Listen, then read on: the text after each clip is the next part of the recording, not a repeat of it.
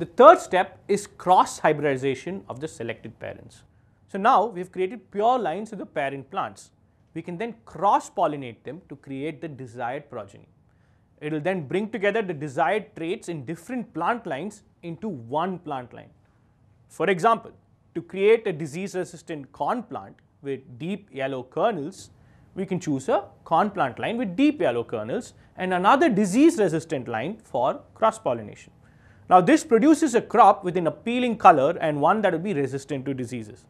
Such an offspring produced by crossing two pure lines is called an F1 hybrid. We've learned this in genetics, right? Now because we have pure lines being crossed, the F1 hybrids we get are superior to both their parents as they have the superior qualities of both their parents. And this sort of tendency of hybrids to acquire the superior characteristics of both the parents is called hybrid vigor or heterosis. So how is this cross hybridization typically done, right?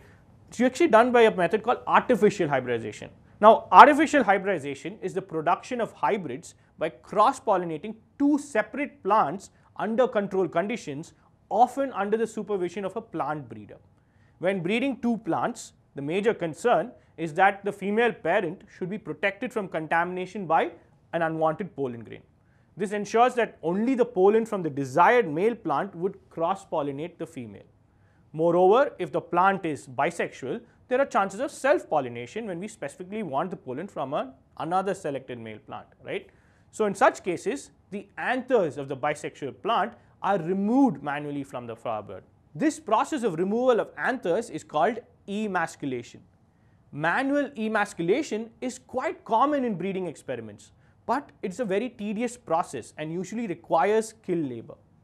Emasculation can also be achieved by suction pressure, alcohol treatment and also by use of chemicals that cause male sterility. But whatever be the technique used, care is taken to not damage the stigma as it has to receive the desired pollen grains. After emasculation, in fact soon after emasculation, to prevent unwanted contamination of the stigma, it is covered with a paper bag, usually made up of butter paper. This process is called bagging. The bags are tied to the base of the inflorescence or to the stalk of the flower with the help of pins or a piece of thread. The flowers are left as such until the stigma becomes receptive. Thereafter, mature and viable pollen grains are collected from the other parent plant and brushed onto the receptive stigma with the help of a brush. The flowers are then rebagged to avoid any contamination and allowed to develop into fruits. This is the process of artificial hybridization. To keep learning with such engaging videos, download Byju's, the learning app today.